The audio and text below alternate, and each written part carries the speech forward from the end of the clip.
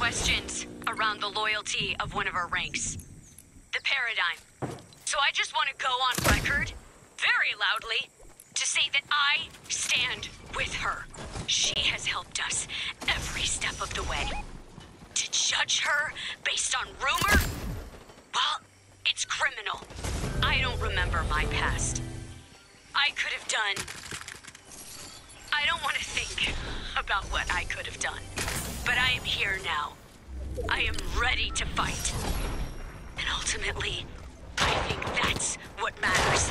It's time for us to stand together, to unify, to fight,